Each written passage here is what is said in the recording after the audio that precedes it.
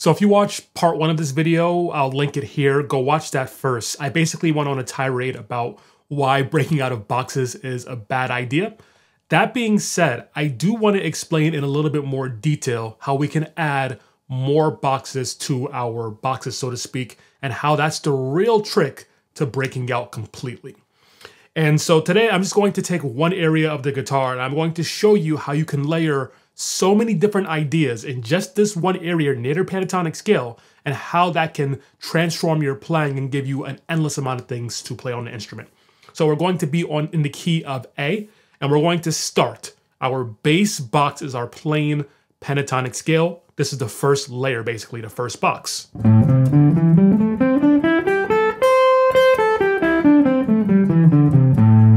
A shape you all probably already know. And then the next layer that everyone knows as well is adding the blue note, adding the flat five. And then we have this scale. That's the simplest form of our first kind of two layers of this whole thing. Now, the next thing I want to do is start to add things that are not scales to move things away for a bit. So basically we have scales, we have arpeggios, we have chords, and we have chromatic tones. Now, scales, uh, chords, and arpeggios are really the same thing, but I think about them differently, and I'll explain why as we go. But the first thing I'm going to do is layer on an arpeggio, and I'll show you how that fits over this same shape. Now, when it comes to the blues, if we're on the one chord, the A, that A7, we often think about an A dominant 7 as our chord, and so we're going to play an A dominant 7 arpeggio. Now, if we play in this same exact area, all right, the same blues area, blue box, blues box area, we're going to play this shape for the arpeggio.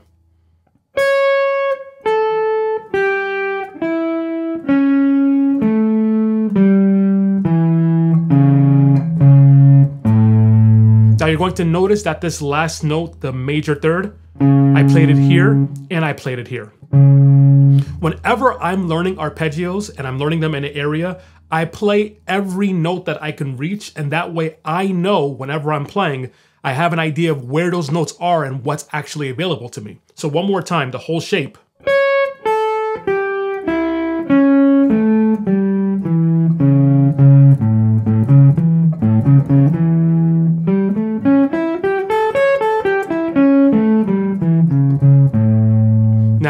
As soon as possible, not yet, but as soon as possible, we're going to stop playing it in that straight line because that's going to be very uh, obvious and very predictable and very boring if you're just soloing like this. You don't want to do things like that, but we're going to get to that eventually. Now we have three layers. We have our pentatonic scale, we have our blues scale, we have our uh, dominant seven arpeggio. The next thing I'm going to add is some chords, and chords and arpeggios are the same thing. But usually on the guitar, because of the way things are laid out, we don't play our chords and arpeggios the same exact way. Okay, that's just not usually how we do things. So the chord I'm going to add now is not something that I invented, but I've never seen anyone teach this whatsoever ever. And I'm going to show it to you right now. I'm going to show you one way of doing this. And that is a major triad mixed with a dominant triad and putting them together in this one area. So our major triad for our a chord, or A chord is going to be this. You've seen that before. Now, this new note right here, the tonic, this note can also be the seventh, because and make it a dominant seven chord. So if we take this tonic note and slide it down to here, now we have this chord, which is basically a seventh, a fifth, and a third. So we have seven, fifth, third, and we have root, fifth, third. And we can also take the fifth and slide that up to a seventh. That will be here. Whoops, here. And now we have root, seventh, third. So whenever I'm thinking about a triad in the blues or a triad on a dominant chord, I see this, and this, and this.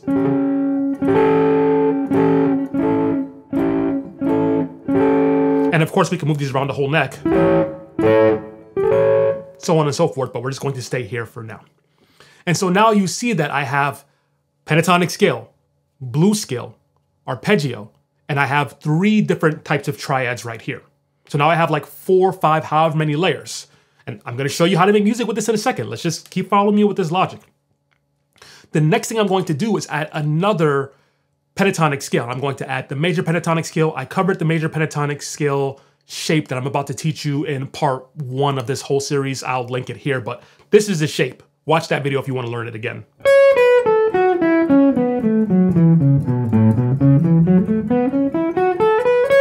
So now I have that layer as well. And when it comes to that layer, I have the ability to play a few chromatic notes in there, a couple of blue notes.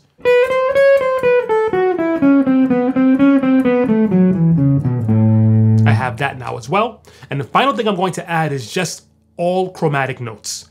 All the chromatic notes in this one area.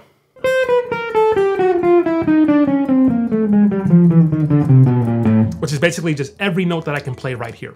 So I don't know how many layers that is now. Okay, we have the minor pentatonic scale, we have the major pentatonic scale, we have the minor pentatonic scale with the blue notes, we have the major pentatonic scale with chromatics, we have three different triads, we have an arpeggio, and then we have all the chromatic tones. We have almost 10 layers of things that we can play now. And that's, keep this in mind, that's all just in this one area of the guitar neck.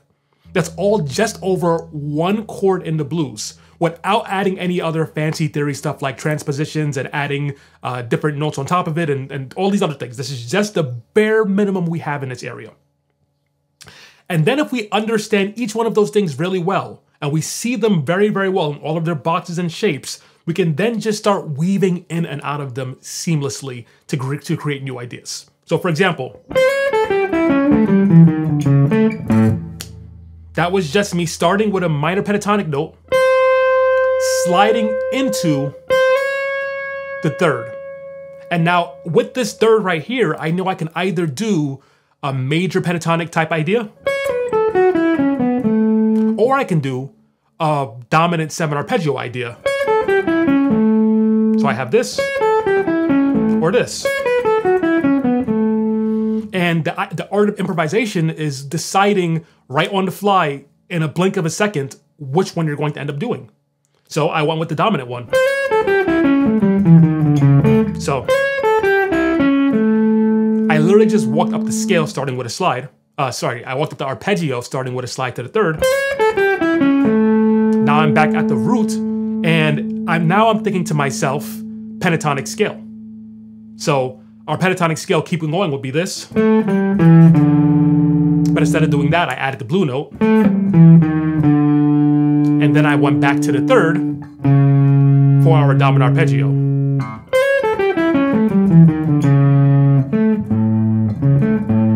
Very simple idea. Or we could do something completely different. For example, we can take those uh, triad ideas that I showed you and mix them with the minor pentatonic scale.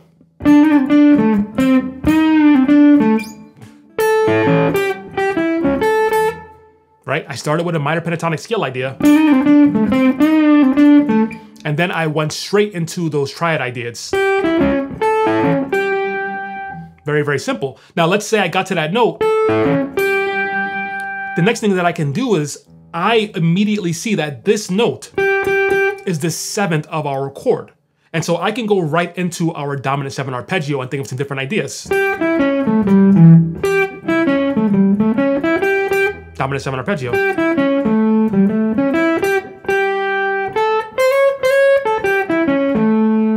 Now maybe from here I want to go into a major, uh, a major pentatonic scale idea. I apologize, guys. When you're playing and when you do this for enough time, you don't even think about what it's called anymore. It's just underneath your fingers. So I'm having to think about this in real time and explain it to you. But from here, right now, I'm going to go into a major uh, pentatonic scale idea.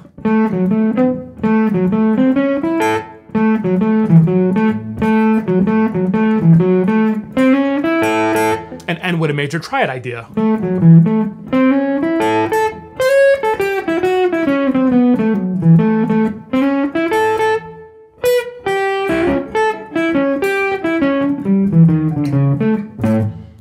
You see I'm mixing major, I'm mixing minor, I'm adding in chords and arpeggios and all of that stuff.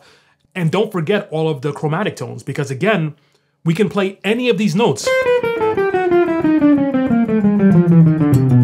And if we know what we're doing, we can make any of those notes work in this context as well. So for example,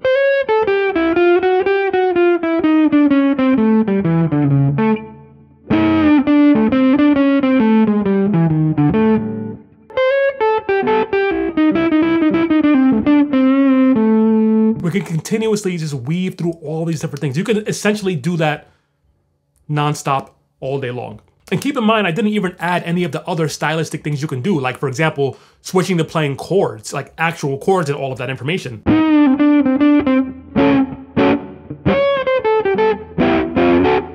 I didn't add anything like that whatsoever. I didn't add, for the most part, any dyad ideas.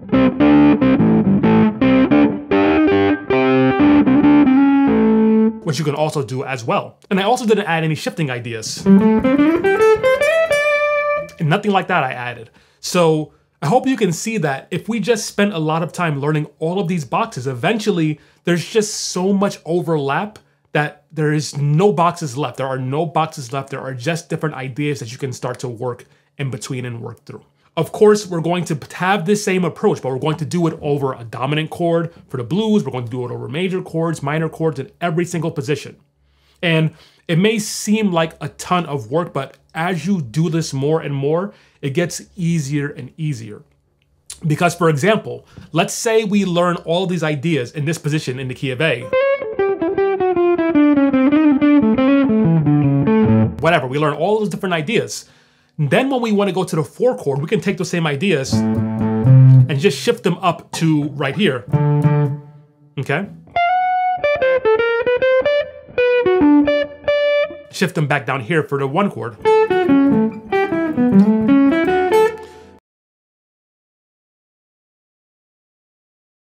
And then on top of that, when we learn how to do all of the things for the four chord in this area, I'm not gonna show you all of them, but for example, you have your same idea as your chord. You can play it arpeggiated. You can do your other chord ideas. You can do your pentatonic scale ideas. You can do your major pentatonic scale ideas. When we learn all of that stuff right here and connect it to the one chord ideas, then we can do the same thing in other places as well by reversing it, if that makes sense. Anyway, I, I, know I'm starting to get away from the topic. You're probably getting a little bit confused at this point, so that means we should probably stop. But the whole point is to just show you that this is not difficult. It's not hard. It's just a matter of taking some time with a very good approach to this topic. Someone who knows what they're doing, books that know what, how to explain this stuff, and just one thing at a time, learning these ideas.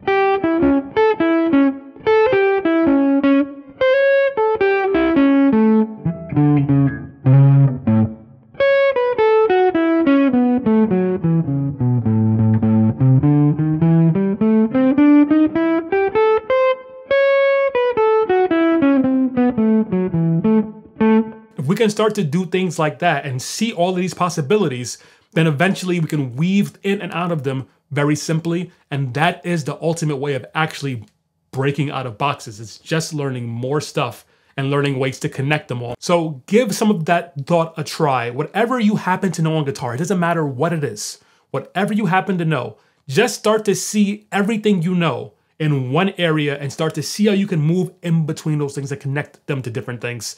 And that will be a good start to this. And eventually, as you learn new things, make sure to layer them on top of the things you already know. And eventually, you'll just know how to play and you'll have your own style.